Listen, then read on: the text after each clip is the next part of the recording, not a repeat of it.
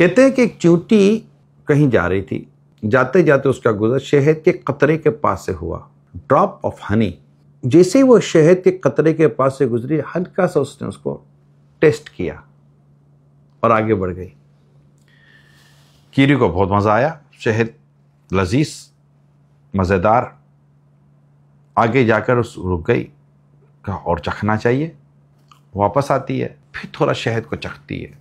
پھر آگے بڑھ جاتی ہے۔ اس کو زیادہ مزہ آیا۔ چوٹی کہنے لگی، تھوڑا تھوڑا چکر کیا ہوگا؟ کیا ہی اچھا ہو کہ زیادہ پی لوں۔ پھر چلی جاؤں گی۔ یہ کہتے ہوئے وہ شہد کے قطرے کے پاس آتی ہے اور شہد کے قطرے میں خود کو داخل کر دیتی ہے۔ جیسی وہ شہد کے قطرے میں خود کو داخل کرتی ہے چونٹی کے پاؤں زمین سے اٹھ جاتے ہیں اور شہد کے اوپر آ جاتے ہیں۔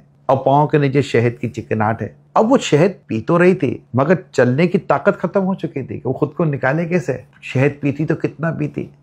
آخر کا شہد کی مٹھاس کی لالچ نے اس چونٹی کی جان لے لی۔ جی ہاں اسی شہد کے قطرے کے اندر وہ چیٹی مر گئی۔ کیا ہمیں یہ مثال یہ بتاتی نہیں ہے کہ دنیا کی لذت اور دنیا کی محبت میں ہم اس قدر دنیا میں داخل ہو گئے؟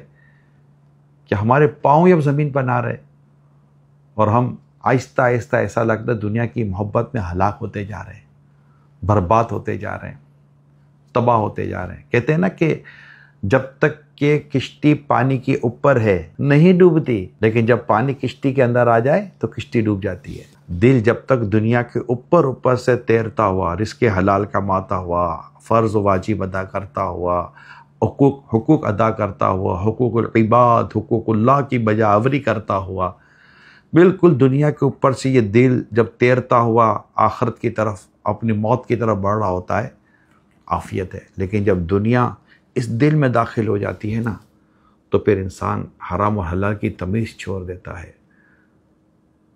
ظلم پر اتار آتا ہے، زیادتی پر اتار آتا ہے۔ اللہ کی نافرمانی پر اتار آتا ہے۔ نہ حقوق اللہ کا لحاظ رہتا ہے، نہ حقوق العباد کا، کیونکہ وہ آخرت بھلا چکا ہوتا ہے۔ اپنی موت کو یاد نہیں کرتا اور یوں اپنی دنیا اور آخرت کو داؤ پہ لگا دیتا ہے۔ ایک مسلمان کو چاہیے کہ اپنی دنیا اور آخرت کو داؤ پہ نہ لگائے۔ خیال رکھیں، اپنا بھی، اپنے گھر والوں کا کہ ہم سب نے دنیا چھوڑ کر جانا ہے۔ اللہ پاک ہم سب کی دنیا آخرت کو بہتر کرے۔ صلو علی الحبیب صلی اللہ علیہ محمد۔